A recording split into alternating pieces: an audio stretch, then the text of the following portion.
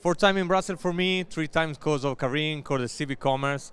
Uh, so I joined this cross-border uh, event this year because uh, this time, not this year, because the second time is the year, uh, because uh, here I can meet really good people and fresh people, and um, for sure I surprised because I every time I go outside Italy. I can find European digital friend. So really is a cool things this this this part, and uh, for sure I can discuss the new challenge of the of the digital world. Uh, you know that uh, everything uh, changes really every quarter, so every time I have new challenges, and here we can share, we can discuss, and we can approach uh, the future in the right way, probably sharing new ideas.